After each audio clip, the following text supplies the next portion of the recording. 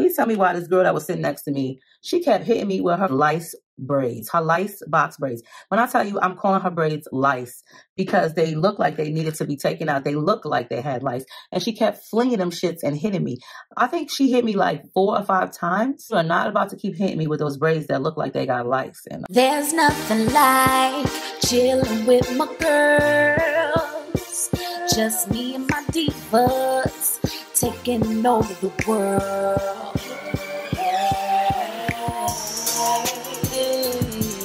Divas. Hey, divas. Let me tell you now, D I V A S D. Hey guys, what's up? What's up, guys? What's up? This is not really like a tutorial video. This is just a video.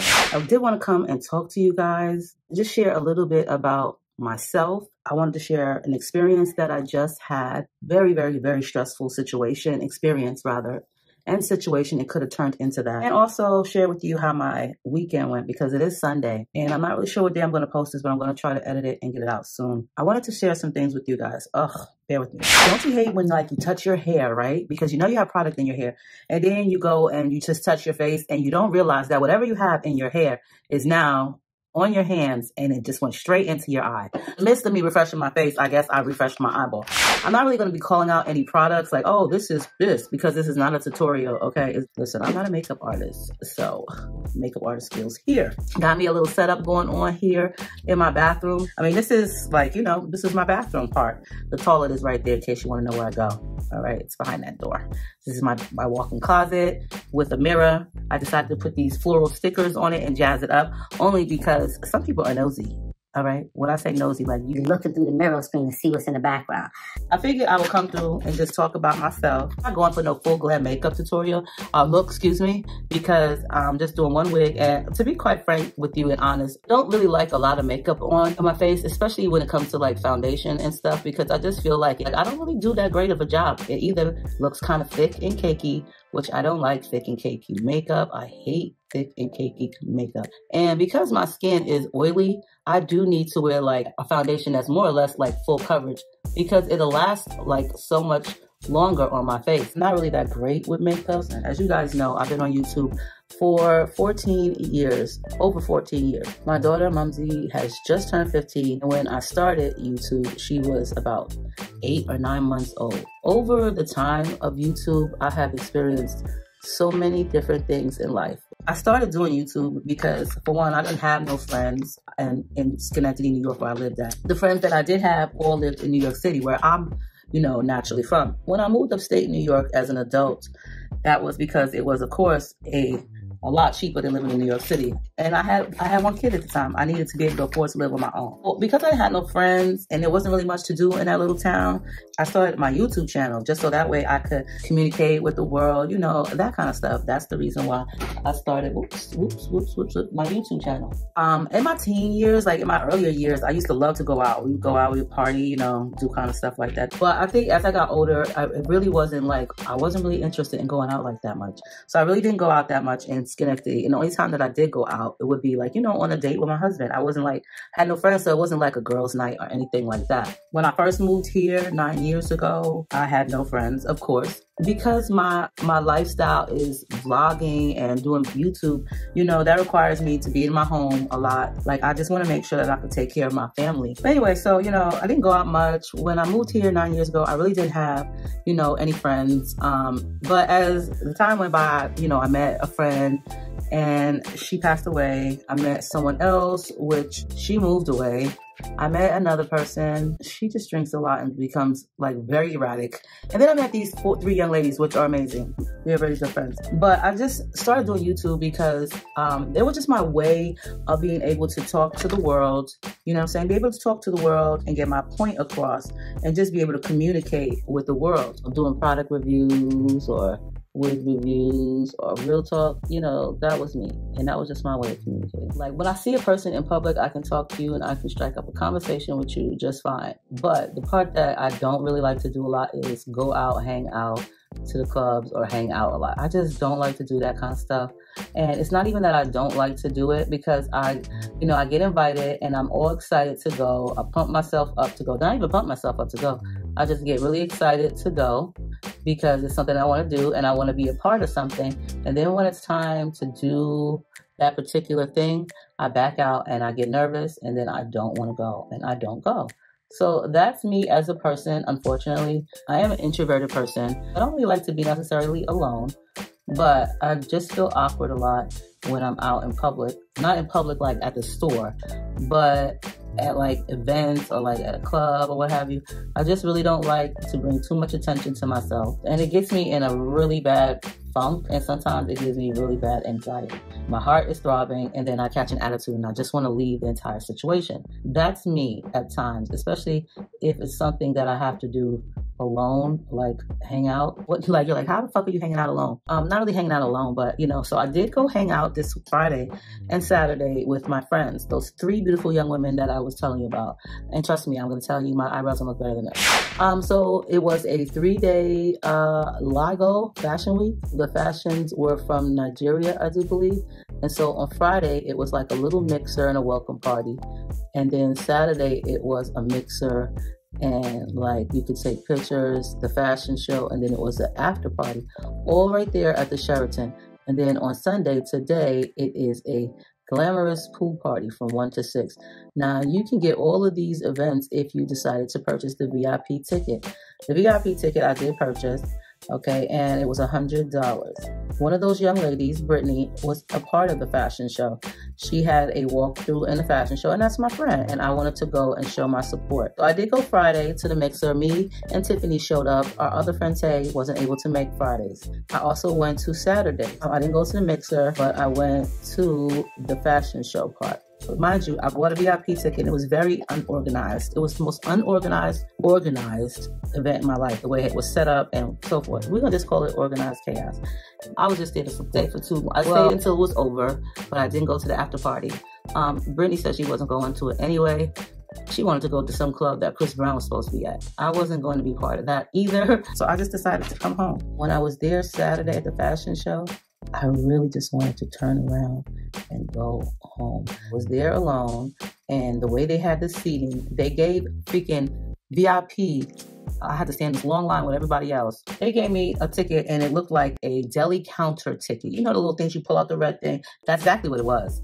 And it said B as a boy, 33, right? So I was like, okay, where's this at? They supposed to walk into your seats. He's like, well, it's around there somewhere. Girl, they had seats, right? And they had stickers on the inside of the seat. So if a person was sitting up against it, you couldn't even see what the number was. mind you, it was already people seated, like mad people. So I'm walking around in this circle the way they had it set up, like this never ending circle. Just keep going. And I'm looking, I'm like, I don't never see no 33. I just see all in a 100. Then I see my friend Tay and I see her and her man up like in the front of her seat. I said, I can't find my seat. I'm, I said, look at this ticket. I said, I'm not about to keep, you know, walking around in a circle and I can't find my seat. And they're not even trying to help me. And so Tay's fiance took my ticket. He found my seat. Seat said 133. The seat said 133. My deli counter ticket said B as in boy 33. So I'm like, this can't be my um ticket. So I go back to the front to the guy and I say, listen, you know, I no disrespect to you or this this um event, but this is very unorganized and I don't see any seats that say B33. And if this is VIP, I'm trying to figure out why I'm in the back because it was VIP front row. He's like, oh no, you don't supposed to look at the letter. You're supposed to ignore the letter on the ticket. I'm like, excuse me? So I'm supposed to ignore that B on the ticket? Okay, so where's number 33 then? If I'm supposed to ignore the B, because you didn't say that when you gave it to me, uh, when you when I came to the door and you told me was over there somewhere, you didn't say that. So he starts showing me my seat. He brings me back to the same spot. I'm like, so what is the seat 33 or 133? And he was like, oh, you got to ignore the one, the numbers. Just go to use the last two numbers of the seat. I'm supposed to know to ignore the one on the seat that says 133 and just look at the last two numbers. Oh, and ignore the letter on the deli counter ticket slip and just take the last two letters. Oh, I should have knew that. What the fuck is wrong? I'm sitting there for a minute, and finally the show starts. This group, this, this, this, these three girls and uh, two guys come and they sit next to me because you know there's open seats, and that's where they were supposed to um you know, sit. Please tell me why this girl that was sitting next to me, she kept hitting me with her fucking lice braids, her lice box braids. When I tell you I'm calling her braids lice because they look like they needed to be taken out. They look like they had lice. And she kept flinging them shits and hitting me. I think she hit me like four or five times. And I was like getting old. I was like way over it. Like I know we sitting close, but you are not about to keep hitting me with those braids that look like they got lice. And Like, no way. No. I turned to her and stared at her just like this. You gonna stop hitting me with your braids? And I turned back and didn't say nothing else. And she didn't say nothing else neither. Because at that point, I was over it. You know, you was hitting me with that lice extension box braid. Brittany's part was up and she walked through and everything. You know, it was towards the end because she did say she was the last part. Girl, when this other lady came out and started doing dance moves on the dance floor for everybody to watch, that was my cue to leave. I left. Okay, I left. And the reason why I left is because Brittany was okay. She was with her husband. Tate left with her man like a minute ago. And it was just time for me to go. You know, my energy was like enough. When I tell you I couldn't find my seat, is that's when I wanted to leave. That is when I was ready to leave and I was going to go home. My daughters and my therapist talked me into going out because I was so adamant about not going. All week I said, no, no, no, I don't want to go. And all my daughters kept saying, well, you need to get out, you need to go, you need to hang out. Tati was like, you're not living, you're just existing. Like, and then my my my therapist said the same damn thing like the very next day, Friday, when I spoke to her. Friday morning, okay, I'm a very like I don't really need a lot as a person to be happy. And for me, I just like, okay, I, I want to be able to hang out with my my girls and have a great time always. This is this is what i always want. Who wouldn't right? Like i'm pretty sure i'm not the only person that wants those things right? We want to find friends that are great and valuable and not even when i say valuable i don't mean like oh i only want to be her friend because of that but you know like they're a great person. They're not all crazy. They're not to get me in trouble. I'm not to get them in trouble. And even if they do we're going to make sure we still be friends. Like let's not let's not get each other in the point of trouble where we going to jail okay? Something that we can't get out of really. But you know what i'm saying? Like that. Why does this eyebrow always look better? This eyebrow always looks better than this one like it pisses me off so friday morning when i got up it was at six o'clock you know i got up to um you know get ready for the day and um, I had made it up in my mind I was gonna go, and that right there would be my, you know, cue to buy the ticket. I get myself together, and I was like, all right, I'm gonna do this. I'm gonna go. I'm gonna go. I'm gonna just go. You guys really don't understand. Like, I get so like damn, it's hard to tell to say, but I get in like this this mood where when I'm like in a crowd of people, the only way I can describe it is I get mad. But I'm not really mad, but I am kind of like mad, but not at any particular person. I'm just upset and I just want to get the hell out of there. Okay? And nobody could even be noticing me, but this is me in general. I don't know why, but I used to never was like this. Like as a it's, like I was getting out. I was getting out when I moved here. I was getting out. I have another friend Kenya. Her name was Kenya, and we would hang out quite often. We would go to this club all the time, and then we would go to this motorcycle club and hang out. But ever since she had a, a granddaughter, she had a granddaughter, right? And she would start hanging out all together. I don't know what happened and why I got like this, but anyway. So you know, Friday I said to myself, I'm gonna go. I'm driving. I'm driving. You know, just bringing the kids to school, and I am such a paranoid person about my money. Okay, when it comes to my money, I'm very paranoid, and I just I'm very particular. I don't like um try to spend it on frivolous stuff. That's just me okay? I always check my paypal account at least like six to seven times in a day. I check on my paypal account right? Because i had made a payment the night before for my internet. So i get on there and it's telling me it's like redirecting me from the app telling me that my account has has been limited and i need to answer certain questions because it seems like I've been using my account in a, what did it say? I'm gonna have to put up on the screen, in a questionable manner. Yeah, questionable manner. I'm like, what the hell are they talking about? I've had the same account for 20 years, over 20 years. I got this account when I was pregnant with Nay. Nay is 20 years old. So, questionable manner. And all I have done with the account is sell stuff on eBay like a very long time ago and use it to sell and receive money on my own website for my wigs and also receive money for my, you know, for my clients, okay, for my videos. I don't really have any chargeback. I only have those maybe like Sheesh, I've had one probably like two years ago. Limited access is I can't withdraw money. I can't um, change my bank account. I can't use my debit card. I can't pay for things online. The only things I can fucking do is I can receive money and put money in there, but I can't do anything. So basically, you can just put money in there, but I can't use it. I had to do like three different things. I think one was one of them was to upload my photo ID, which I did. The other one was to upload the bank statement that is attached to my PayPal account, my bank statement, which which I had. All I had to do was go to my phone, which I did. Um, the other one was to state what type of business I ran, which I did, and then the fourth one was in full detail, please explain your transactions from July 19 to August 19, which I did. Said you'll get back to me on one business day. It's Friday, so one business day is Monday. I start looking it up and stuff, and I start seeing people all on PayPal, on, on YouTube, on the internet, how PayPal just seized seized their accounts and gave them the same exact thing and withheld their money for 180 days, which is six months. And then once the 180 days were up, they then went ahead and took the owner of the account's money. PayPal has a class action lawsuit against them for this. Do I want to use this color?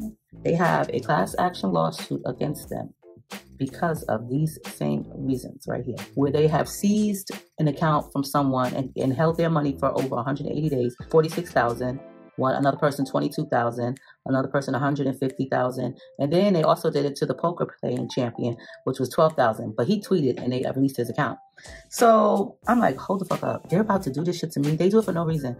Let me tell you, PayPal froze my account. All my money was in there. Listen, I had a very bad weekend. I don't really like to share none of my my money details with you guys or anybody because I just don't feel like it is anybody's business. But this is very important. If you have a PayPal account, be very, very mindful, okay? They seized my account and froze my account, and I had dollars in my PayPal account. Okay, you know that was money that I earned. Um, thank God I have another bank account. Okay, I do have another bank account, a bank account, bank account, and I had money in there. I had such a bad week from that, and I really couldn't enjoy myself like I wanted to. And um, this morning, it's Sunday, and I woke up out of my sleep dreaming that what I dreamt about the whole PayPal experience situation was a dream. I woke up out of my sleep and gasped for air and then grabbed my phone to look and see if what I was actually waking up from was either the truth or not. To my behold, it was still PayPal and my account was still frozen. And so I sat in my bed this morning and I was like so out of it. I tried to be positive since the situation happened on Friday. And um, but when you look on the internet, you start reading these stories, and there's there's there's proof of it. And then I see the class action suit. I'm like, there's they're not gonna um, release my account. They're gonna take my money. Like, what am I supposed to do? I work for this. They can't do this to me. I'm gonna go to PayPal office. They have a headquarters out here in Chandler, and I'm I was going I was gonna make it my business to go there, and we're gonna have to have a sit down. I, I just had like a really rough morning from all of this PayPal bullshit. I just started watching videos and figuring out what I was gonna do. I just called my mom because I didn't need someone to talk to. And I started telling her the situation. Conversation started to my mom. She didn't know really what was going on. She just knows that I'm I had a lot I have a lot going on. You know, I told her about my blood pressure. I've just been to the, the doctor. My blood pressure was at 169.99, 170. And that's bad, you know. And then that following weekend I ended up in the ER because my left arm started tingling and kept going numb. So I, have been having like a really, really rough 2022. Okay. Mm-hmm. And then for them to do this to my account, and I just was like a lot. It just, my mom thought she didn't know what was going on. She was like, You need, April, you're depressed. And I was like, No, I'm not depressed. And then I started telling her about the PayPal. And she was like, oh my God. So we started talking about it and she was looking it up as I was on the phone with her. And I was sending her screenshots of, you know, what was what was sent to me. I'm on the phone with her, and mind you, I'm on the toilet too at the same time. TMI, I know, right? And I get this call come in. Now, mind you, the area code starts with a 402, and I don't really know um, who it is. And I have one of these spam blockers on my phone, so you can't get through to me.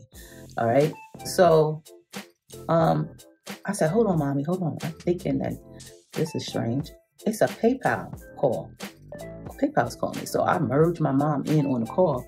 Sure enough, they was like, um, if this is the account holder, you know, press once. And it was like, um, thank you for PayPal. Your PayPal account has been restored.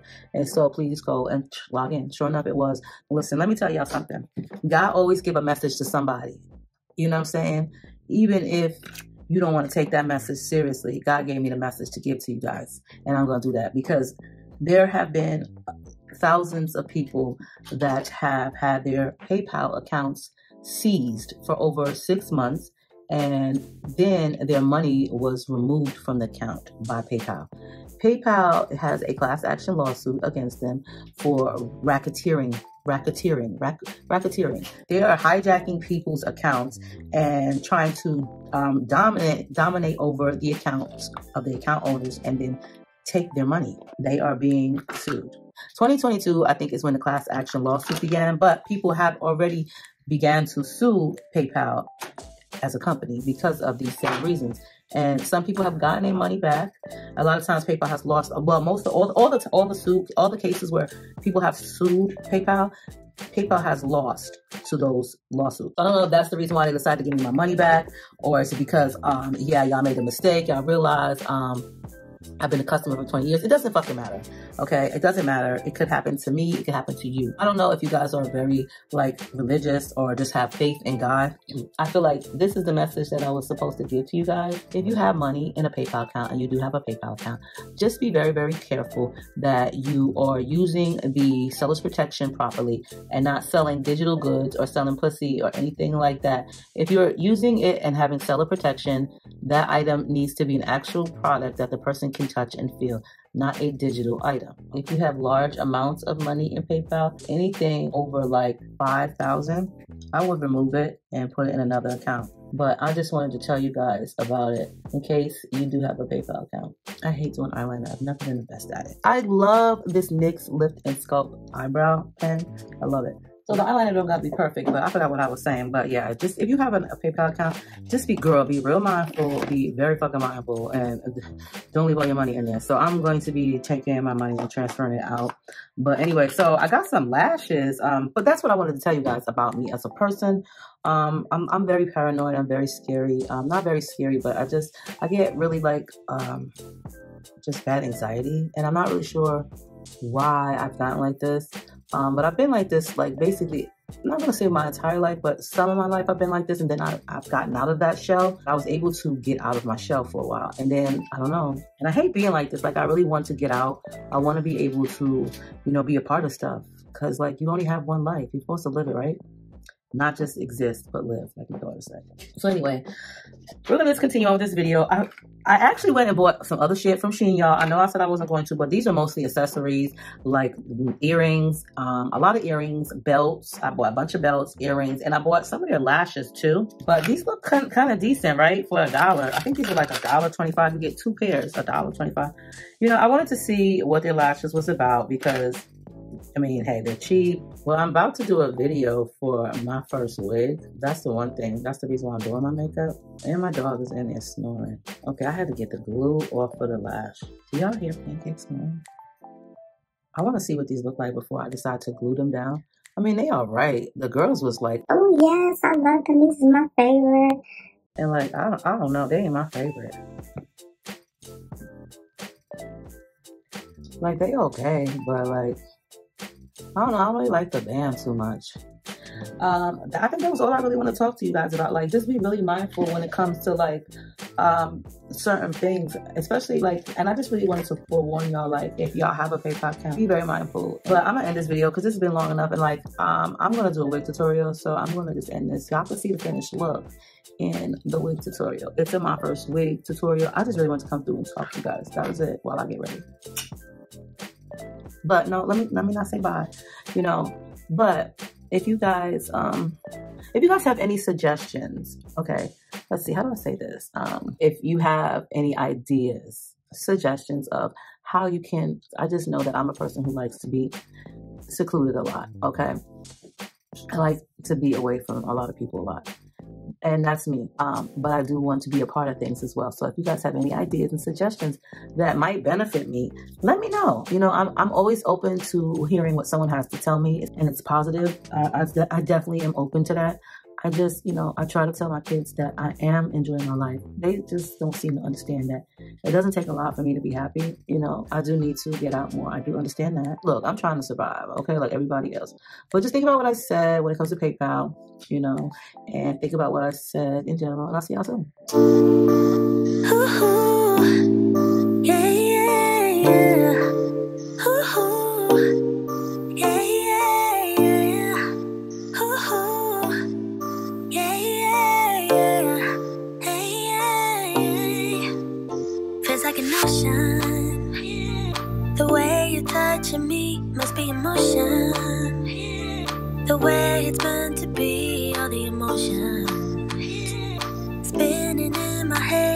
Like ocean. Baby, there ain't nobody